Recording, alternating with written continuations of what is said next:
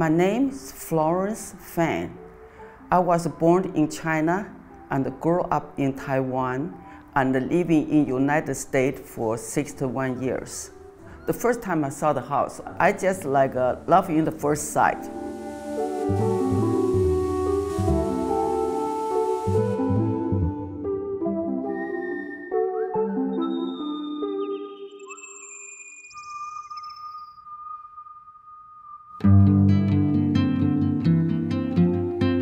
Was born in China that time, and we have the World War II. So I don't have to use time, always like a refugee. This house is for my youth fantasy.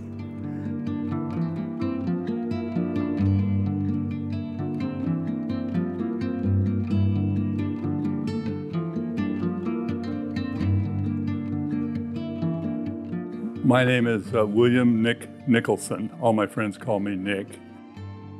I went to the Blue Mosque in Istanbul early one morning. Ceiling of the Blue Mosque is made up of some different domes. So I went to the middle and lay down on the floor.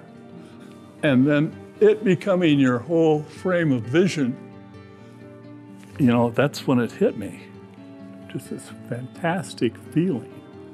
And later I thought about it. I well, my God, we've only lived in square boxes for a couple thousand years. Hundreds of thousands of years, we were in caves or soft structures. And, and I, I couldn't stop thinking about it. As soon as I got back, I started fooling around with it and thinking, how, how, how, could, how could you do How could you bring these together? Oh, oh, and we'll have, we'll have different shapes and all together. To me, uh, the, the round shape is kind of inclusive and it accepts all the elements from the nature.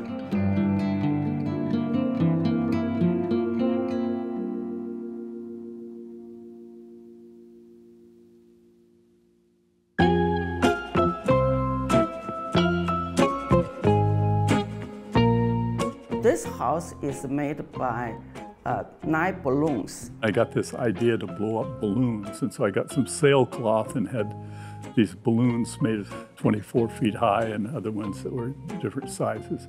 There was a gunite machine where you put uh, sand and cement and things in, and then it would go through the hose dry, and then the water was put on at the nozzle. So putting some fiberglass in with it made a material that we shoot on and then right away let the balloon down and you have this shell.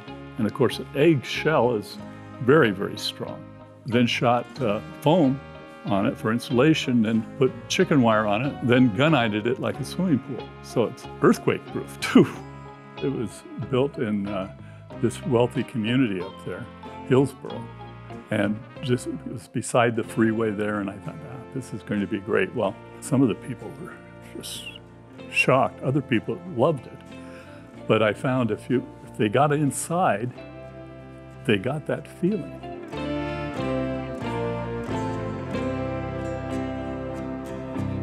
People liked it. That was it though. There was certainly no clamor to my door. One thing I felt really good about was that it was beside that freeway and hundreds of thousands of people would see it every day and whether consciously or subconsciously, they'd realized that a living environment doesn't have to be a box. And I thought, at least I'm giving that. I didn't tell anybody about it because I was, I was ashamed because it was such a failure. You know, I mean, it was always a failure.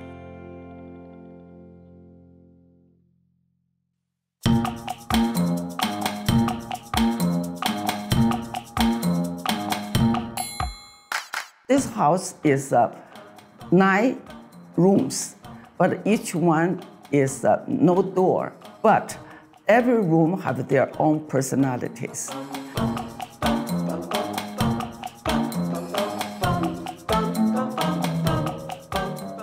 My name is Sean Fang. Because of the pandemic, I had to move um, back to the Bay Area, and my grandma was so gracious enough to let me stay at the house. Every little aspect of the house is just so different. You know, every month or every couple of weeks, it's always changing. There's always a new addition. I'm really happy that my grandma was able to kind of express herself through the house. It's kind of hard to put into words.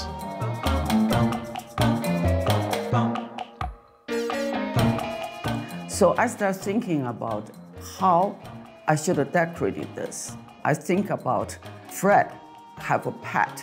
The pet name is Dino. Dino is a dinosaur.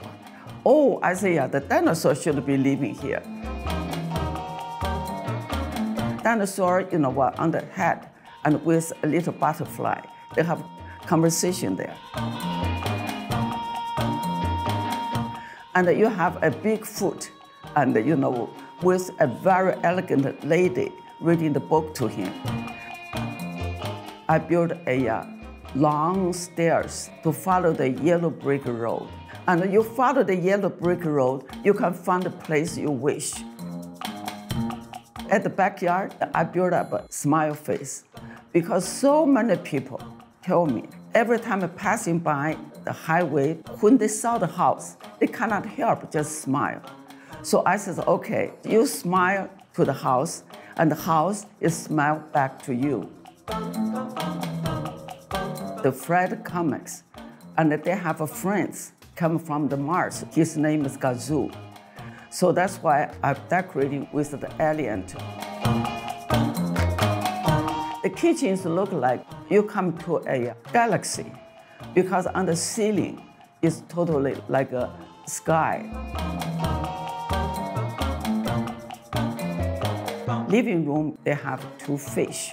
When the other fish need air and water, the another fish just give him. So that is just showing human beings, we should be care each other and love each other.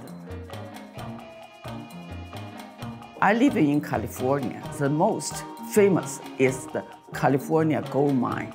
And you can see the Forty-Niners is, is the digging the gold and the waterfall with all the gold come down.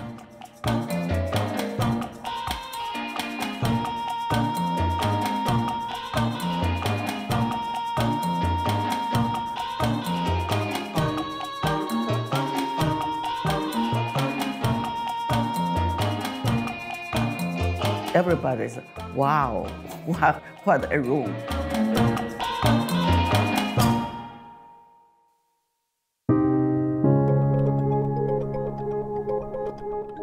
Florence Fang is so phenomenal.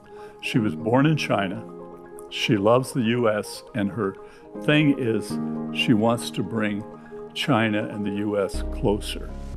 And I want use the Western's fairy uh, stories and to combine with Eastern's philosophy. Because the Eastern's philosophy, we feel why the universe can always move, never stop, because the universe have five elements, gold, wood, water, fire, and earth. These five elements, they always compete each other, also complement each other, just like yin and yang.